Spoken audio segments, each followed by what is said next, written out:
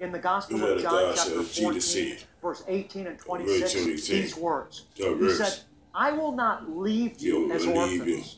Lord. I will come to you. will come to you. But the Helper, The the Holy Spirit, the Holy whom the Father will send in my name, my He will teach you all things you all and bring to your remembrance all that I said to you. Now, in case you're wondering whether you saw this broadcast last week, you didn't. I'm just picking up where I left off last, last week. week. Right before Jesus went to heaven, Jesus. He spoke to the greatest need that you and I have. He spoke to having what I'm calling orphan spirit. He said, I will not leave you as orphans. I leave you. What is an orphan? The An orphan is somebody without Yes, a father. A father provides father. protection. A father provi- provides identity. A father provides security. And Jesus said, "Listen, says, I'm going away. You won't see me physically anymore, but I want you to know." He said, "You are not going to be left alone.